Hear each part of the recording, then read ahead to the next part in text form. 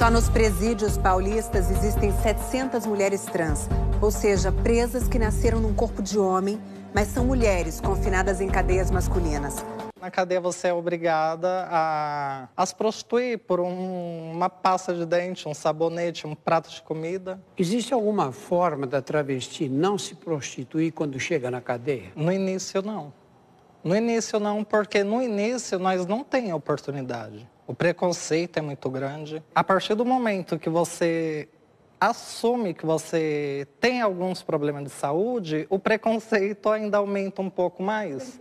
Eu sou soro positivo, já tive tuberculose. Você teve acesso ao tratamento aqui, tomar os remédios para vender? Sua pressão tá 12,7, tá boa. Seu peso tá bom.